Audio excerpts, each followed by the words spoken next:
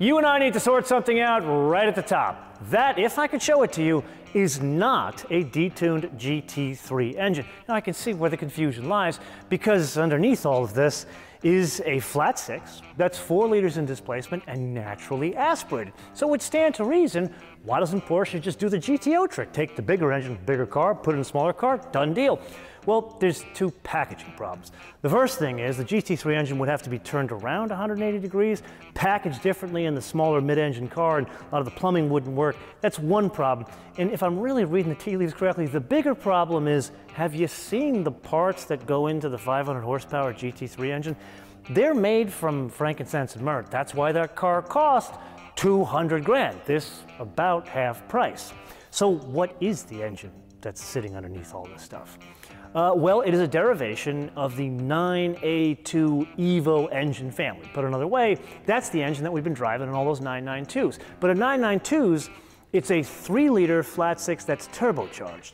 Here, it's a four liter flat six that's naturally aspirated. There's a couple of other things that stand out here. Uh, forged lightweight pistons, forged crankshaft, and an integrated dry sump lubrication system. Now that we got all that, are we clear?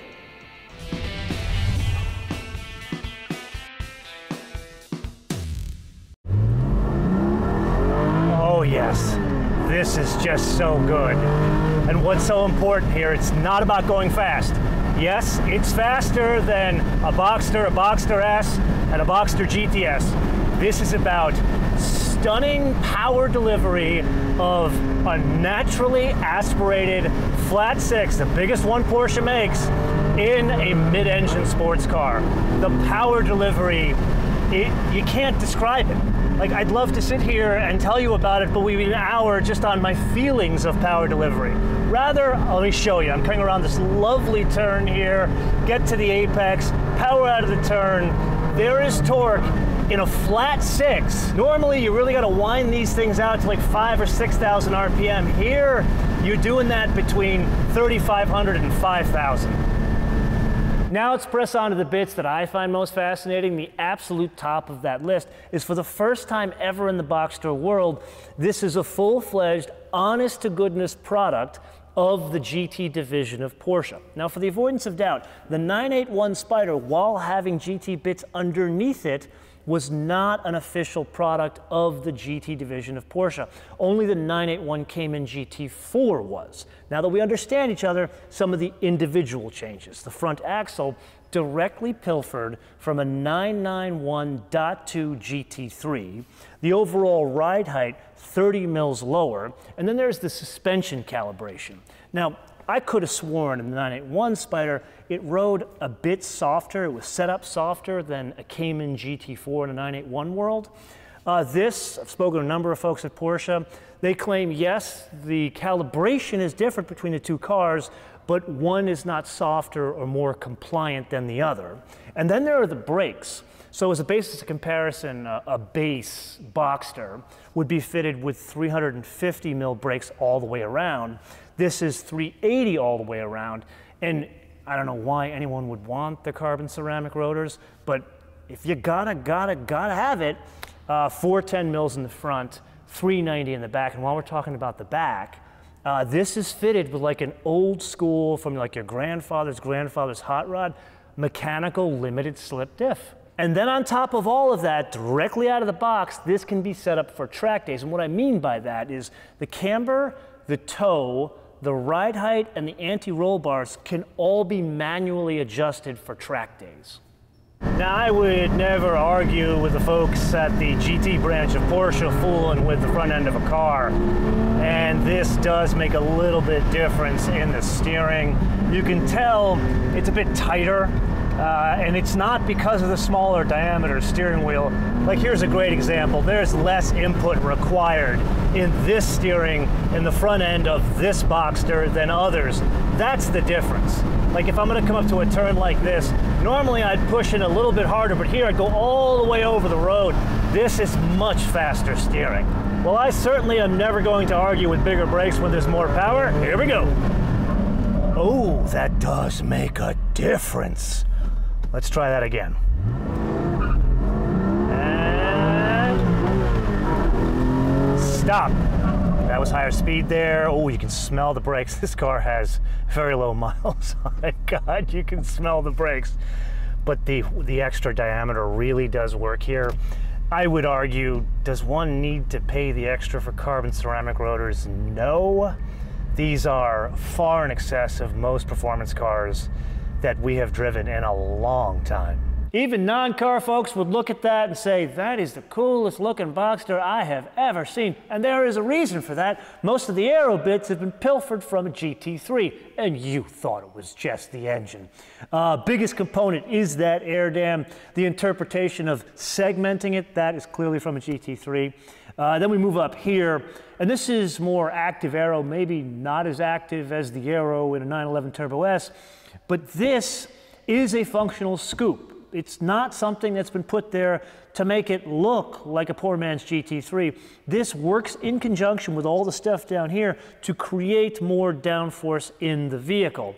And then maybe not under the heading of active aero, but the lenses, the lights up front, they're tinted.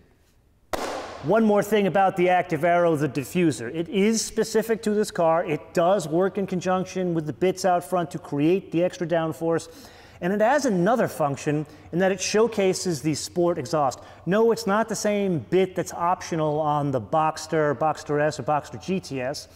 It is specific to the 718 Spyder and the sound. Oh, the sound. Now yes, this is manual. Currently it's the only way you can get it. Uh, I don't know if this is good news or bad news. Uh, they are going to be doing a seven-speed dual clutch in these. Late availability this and the GT4. I don't think that's a good thing. Can we just keep it to the manual transmission club? That said, it's a wonderful manual. It's not particularly different if you've driven other manuals from Porsche, especially a GT3 or even the previous Spyder. Uh, it's not so much the transmission is different, it's the height of this shifter combined with the smaller diameter of the steering wheel that makes this an absolute joy to, to really aggressively drive this car. I know I shouldn't be saying that, but maybe drive it more sprightly in traffic. Yes, it is indeed that time again to play your favorite game in mind, the options game, with today's magnificent contestant. Something I don't know if it's limited edition, but oh boy, it's it's magical. Or as the Germans say, Zauber.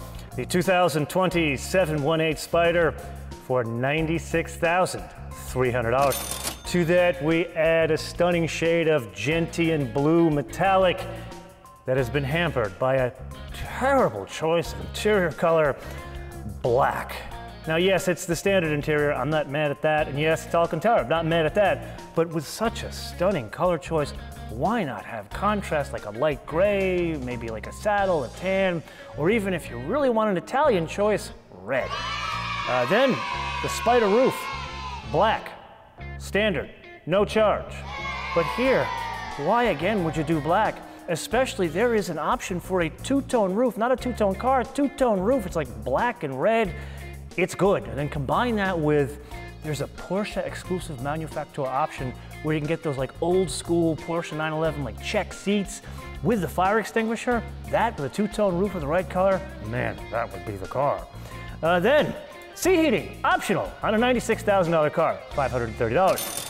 Automatic climate control, optional on a $96,000 car, $770. And then taking a page out of the BMW playbook, CarPlay, optional on a $96,000 car, $360. Auto dimming mirror with rain sensor, $700. And then navigation, it's optional. And for $2,020, you would think it'd be like that augmented reality navigation. It ain't. It is regular maps that move for $2,020. To that, we add a destination and handling fee of $1,350 for a total retail price of $102,980. Now, yes, I am biased, but I am going to leave you with a question here. For about 103 grand, one could have like an entry-level 992 or this. Which would you choose and what color? Normally I wouldn't waste our valuable driving time with the roof up, but here this is a bit different. Remember that 992 C4S we drove last month? that was a fully insulated and fully automatic top. This not insulated as you can see. It's a manual, really it's a hybrid top. Uh, it's electric release to this hook up here and for the flying buttresses out back, and then manual the rest of everything else. Uh, you know what? It, takes some doing to put it up and down. It, it makes the car a little bit louder, but I'm not really fussed about that because the lighter weight up here goes to a 170 weight pound differential, even with the bigger engine between this and the and the base Boxster. So I'll take the louder interior compartment, but it does take some doing to open this thing up. Actually, rather than me tell you about it, let me show you. The electric part is a release inside the car, which releases the hook in the leading edge of the roof or the A-pillar. Uh, and then we have to deal with the flying buttresses. Yes, there are flying buttresses. I feel like you and I have had a lot of cars with flying buttresses as of late. Say that fast three times.